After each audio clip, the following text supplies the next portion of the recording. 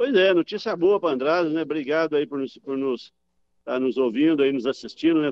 Quero cumprimentar o povo de Andradas, enfim, todos os telespectadores.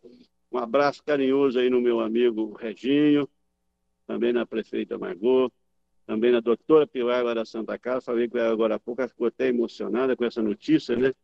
O valor de 1 milhão 580 mil reais, 540 mil reais, para adquirir um tomógrafo zero bala aí para o nosso hospital. O deputado é um, homem, é um deputado muito forte que está conseguindo mais 1 milhão e 500. Não, não é bem assim.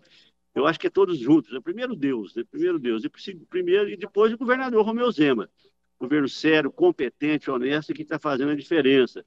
O secretário Fábio Baquerete e sua equipe ali no Copira, com, é, com vários assessores, lideranças lá no, na secretaria.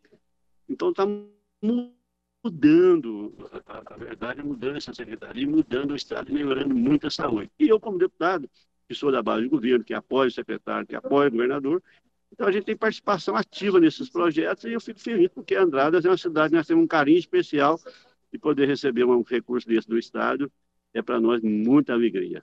Então é isso, meu abraço e carinhoso em cada um de vocês aí, obrigado pela oportunidade.